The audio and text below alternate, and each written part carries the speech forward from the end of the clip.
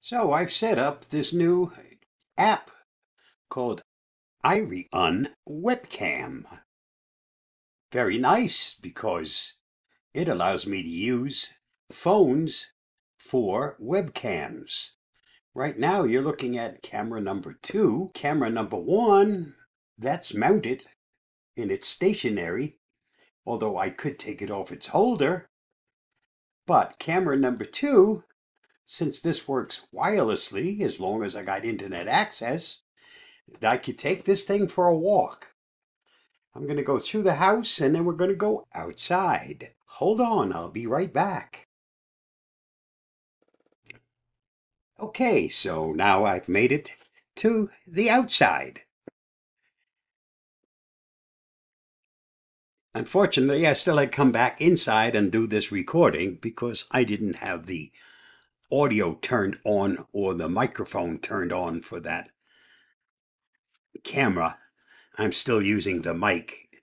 That's my default at the computer.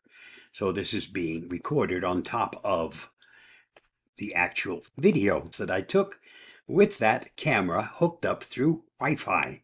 And as you can see, it works like a charm gives me the freedom to explore,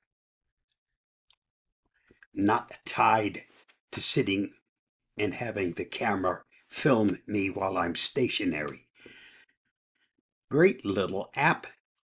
And if you have some extra phones laying around, this is a great way to use them. They take such high quality video. I'm back inside. I've turned the second camera off, just showing Camera number one, I-R-I-U-N, Iriun webcam. And as you can see, this works for Windows, Mac, Linux. Also available from your Google Play Store and from your Apple Store. The current version is 2.7.6. I'll put a link to the download website for that app, which goes both on your computer and on your smartphone. And then you have a wireless webcam. Enjoy it. Stay safe, stay secure, and I'll see you again soon. Bye bye.